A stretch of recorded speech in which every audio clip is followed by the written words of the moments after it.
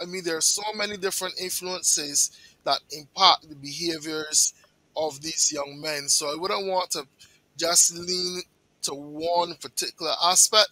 However, fatherlessness is also a component of that. You know, um, I, we, we spoke about it. You know, the void that is left, um, the hurt, the pain, um, the the absence of uh, uh, that male figure being able to, um, I guess, I guess, teach that child, you know, the emotional connection and emotional components of men, how men how men interact with people, how they interact with the relationships, how they build relationships, how they deal with conflict.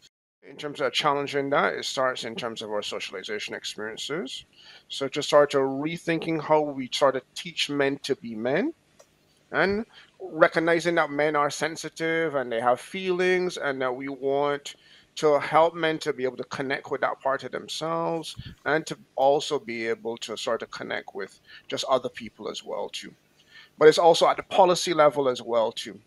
So we have particular policies for example where we give women opportunities for things like maternity leave where, where there are provisions specifically in place for women with regards to caregiving and child care we also need to make policy changes that include men in terms of that process as well